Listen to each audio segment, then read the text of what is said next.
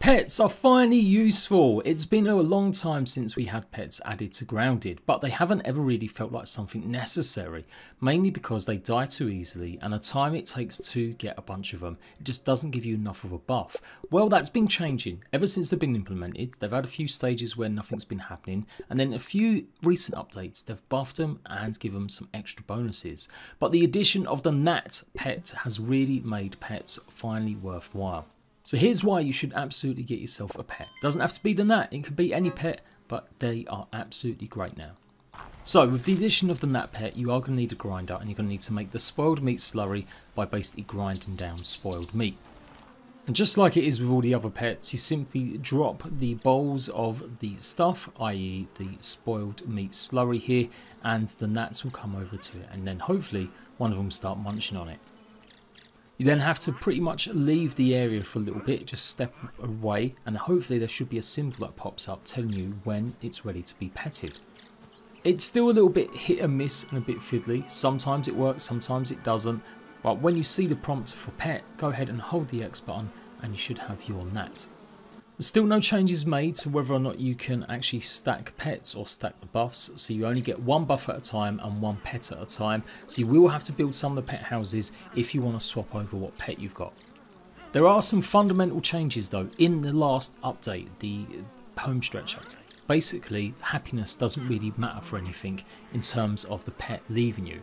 It will have some sort of effect in the future. I'm guessing if the pet is happy, it will keep the buff for you. And if it's not happy, then maybe you won't get the buff. The buff for the gnat pet is that you'll get longer airtime while using a tuft.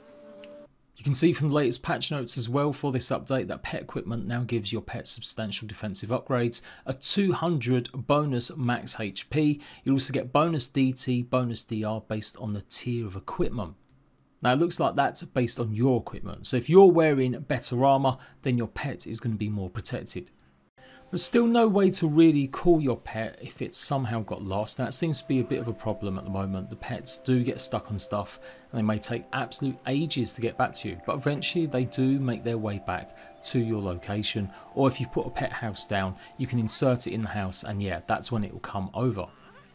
So not really still answering why they're more useful now. Well, it's the big inventory change. You can access their inventory from anywhere on the map now. You don't have to actually have them close by and you will be able to access it properly and hold up to 10 more items. For players that have been complaining for a long time now that Grounded doesn't have enough space, this is phenomenal.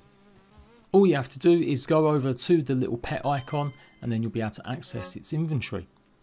The one thing it still needs probably to help pets even better is some ability to tell it to wait in a specific location, not just at the house, so that when you go and do a dungeon, it will wait outside. Now most of the time they don't follow you completely, so if you jump into the water, it's not going to follow you in there, and they won't die anymore if they do slip onto the water. That was something that had happened with the introduction of gnats in this update but they've quickly changed and fixed that. But yeah, it'd still be good if you could tell it just to wait in a certain location and you know that you can keep on transferring stuff to it even while you're clearing out somewhere.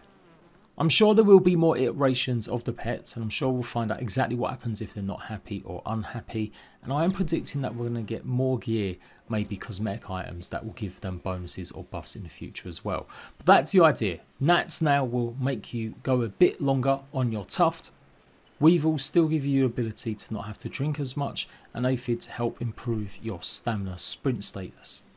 With the introduction of custom games, of course, you can now make sure that your gnat or pet will never die, and that's obviously a big bonus. And yes, you can change your normal game if it wasn't custom into a custom game now with this update. You do, of course, get a nice new gravestone if your pet gnat dies to go with the others. And if your pet dies, then you'll simply be able to pick up the gravestone and you'll get all the inventory items with inside that pet. So you don't have to worry about losing anything. Now the pet gnats do fly quite high, so it can be sometimes hard to pet them, but you should be able to get them eventually. But otherwise, yeah, I think these pets are great now. The pet gnat could be one of the better ones, since it is a bit harder to kill compared to some of the others, and as long as you can keep it alive, that extra bonus inventory and some of them extra little bonuses can really come in handy. So that is the brand new Pet Gnat and the state of pets in August 2022, just before Grounded comes out in full release. F in chat for spicy.